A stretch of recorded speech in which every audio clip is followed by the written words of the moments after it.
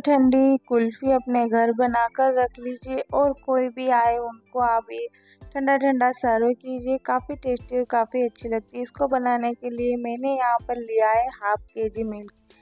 एक मोटे तले की कढ़ाई लेकर इसमें सारा मिल्क मैंने डाल दिया है और अब मैं इसको उबलने के लिए छोड़ दूँगी। यहाँ पर मैंने फुल फेट दूध लिया है और ये गर्म किया हुआ है। इसमें थोड़ी मलाई भी आ गई थी जो मैंने इसमें ऐड कर दी इसको अच्छे से चलाते जाएँगे और हमें इसको उबलने देना है जब तक कि ये आधा न रह जाए।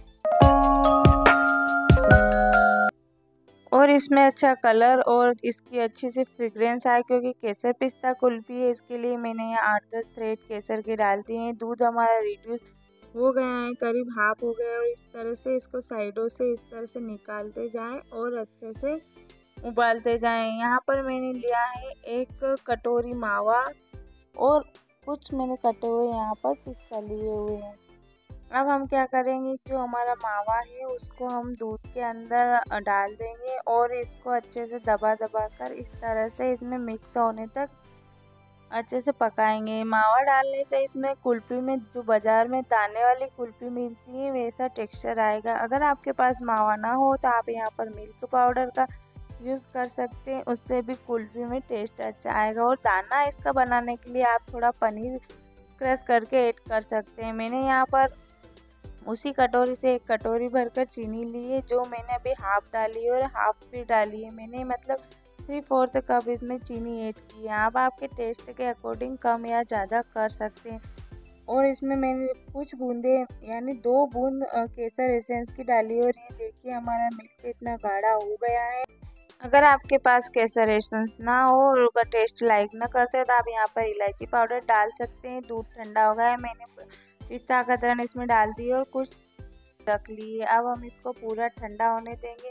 और यहाँ पर मैं लास्ट में इसमें और अच्छा क्रीमी टेक्सचर देने के लिए दो बड़े चम्मच दूध की मलाई ऐड कर रही हूँ। आपके पास हो तो डालिए, नहीं तो आप बिना इसके भी बना सकते हैं। इसमें फेट कंटेंट बन जाएगा और जो हमारी कुल्फ़ी है, एकदम सॉफ्ट जमेगी। दूध हमारा ठंडा हो गया है। मेरे पास यहाँ फोर ग्लास है तो मैं इनको हाफ़ हाफ़ फिल कर लूँगी। काफ़ी अच्छी और टेस्टी ये कुल्फ़ी हमारी बनकर रेडी होगी। ऊपर से मैंने यहाँ पर पिस्ता कतरन डाल दी है और अब हम क्या करेंगे, इसको फॉइल पेपर से रेप कर देंगे।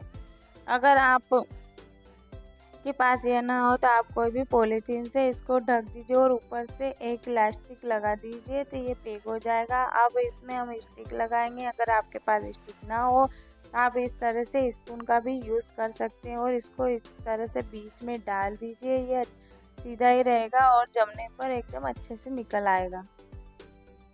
ढकने के बाद अब हम इसको फ्रीज में जमने के लिए छोड़ देंगे ओवरनाइट या जब तक हमारी कुल्फ़ी अच्छे से जम कर रेडी ना हो जाए। आप चाहे तो इसको प्योर मिल्क से भी बना सकते हैं। यहाँ पर मैंने हाफ़ लीटर मिल्क लिया था, आप वन लीटर लीजिए और इसको रिड्यूस करके इस तरह से जमा दीजिए। ओवरनाइट जमने के बाद देखिए हमारी कुल्फ़ी इस तरह से हो गई। इस तरह से आप हाथ से थोड़ा सा इसको मसलिए या फिर आप पानी में डिप करके रख दीजिए तो ये आसानी से निकल जाएगी।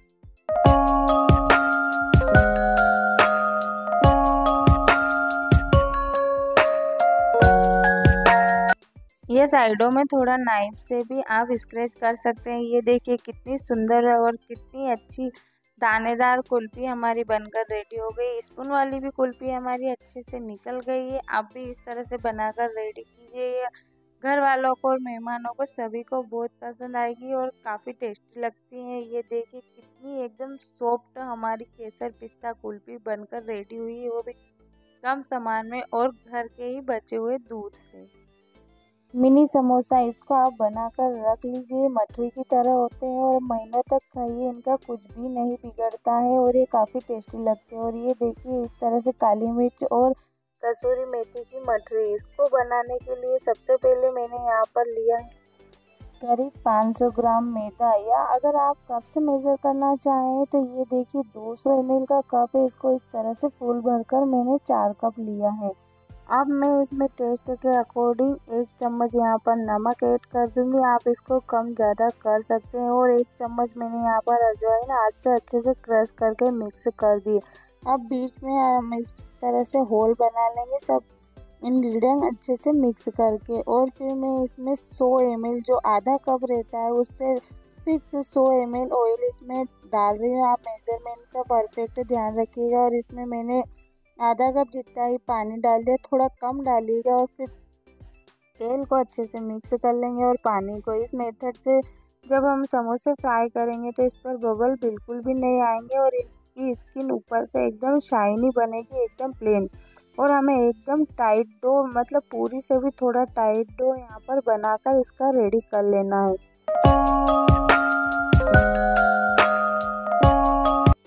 और समोसे में भरने के लिए मैं यहाँ पर ले रही हूँ मिक्स नमकीन, ये खट्टा मीठा और मिक्स है। इसमें और कुछ भी ऐड करने की ज़रूरत नहीं है। मैं सिर्फ़ इसमें यहाँ पर थोड़ी किशमिश ऐड करूँगी और इससे हाथ से अच्छे से मसल लीजिए। अगर आप नमकीन ना तो आप सेव को भी दरदरा कूट कर या पीस कर इसमें भर सकते हैं या फिर मूंग की दाल या फिर उड़द की दाल को आप अच्छे से भिगो कर उनको एकदम दरदरा फ्राई करके मसाले डालकर उसको भी आप इसमें फिल कर सकते हैं। लेकिन ये नमकीन का अच्छा ऑप्शन है, इसमें आपको एक्स्ट्रा कुछ करने की ज़रूरत नहीं है।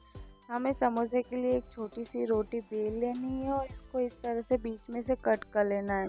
अब हमें इसके चारों तरफ़ पानी लगा लेना है और इसको अच्छे से इस तरह से कोन की तरह बनाकर इसको चिपका देना है। थोड़ा दबा कर हल्के हाथ से प्रेस करके चिपकाना है ताकि जब हम फ्राई करें लो फ्लेम पर तो ये खुले नहीं अक्सर क्या होता है कि थोड़ा सा भी कम प्रेस करने पर जब हम लो फ्लेम पर फ्राई करते हैं तो खुल जाते हैं। और अब हम इसमें हाफ़ चम्मच फिलिंग या जितनी इसके अंदर आए उतनी फिलिंग हम इसमें भर देंगे और इसके किनारों पर भी हमें अच्छे से पानी लगा देना है। और इसको इस तरह से फोल्ड करने का तरीका कुछ इस तरह से आधा हमने पहले फोल्ड कर दिया और बचे हुए आधे को इस तरह से एक प्लेट से लेते हुए इसके पीछे लाकर हमें ये इस तरह से जॉइंट कर देना है और हल्के हाथ से दबा देना है। ये देखिए, हमारा प्लेट्स वाला मिनी समोसा बनकर रेडी हो गया है।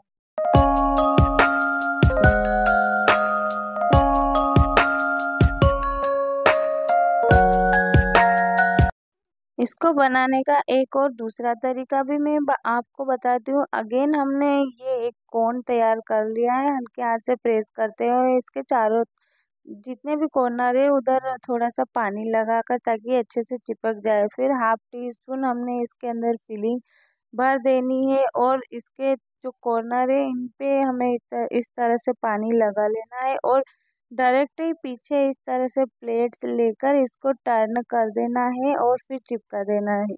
इस तरह से भी आप, आपका समोसा बनाकर रेडी करेंगे तो आसानी से बन जाएगा। काफ़ी अच्छे लगते हैं और बनने के बाद काफ़ी दिनों तक ये ख़राब नहीं होते। एक बार आप बनाकर ज़रूर ट्राई कीजिए, किसी भी त्यौहार, होली, दिवाली या ऐसे ही अगर आपको बच्चों को ये पसंद आए तो आप ज़रूर बनाइएगा और बच्चे एक बार खाने के बाद इनको बार बार बनवाना की डिमांड करें। इस तरह से हमें सारे समोसे भर कर रख लेंगे, लेकिन मैं यहाँ इनको साथ ही साथ भरती जाऊँगी और फ्राई करती जाऊँगी, क्योंकि ये लो फ्लेम पर फ्राई होते हैं और इसमें काफ़ी टाइम लगता है। इसलिए मैं एक साइड इनको बनाती जाऊँगी और एक साइड इनको फ्राई करती जाऊँगी। एकदम धीमी आँच पर ये देखिए, ठंडा ही तेल है, बिल्कुल हमारा हल्के हल्के बबल आ रहे थे जब मैंने इनको डाला था। और इनको लो फ्लेम पर ही हमें फ्राई करना है जब तक कि ये तैर कर ऊपर ना आ जाए। फिर हल्के हाथ से इनको इस तरह से पलट देना है।